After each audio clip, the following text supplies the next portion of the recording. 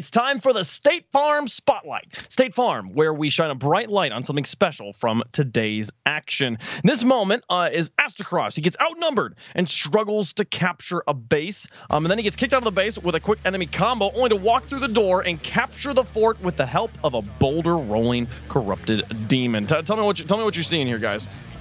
First of all, this build is great. I love this. This Hatchet and Lifestaff build. It's like it's the safest way to play PVE, and you can see here that uh, you know the brutes are causing problems for him. But yeah, keep an eye now. Obviously, Berserk is huge. He's just popped that, which means he can't be staggered. He's going up against the Hammer user, so there's no way that his damage can really be stopped. Actually, it's a Shield user which has Shield Bash, but he ignores that entirely.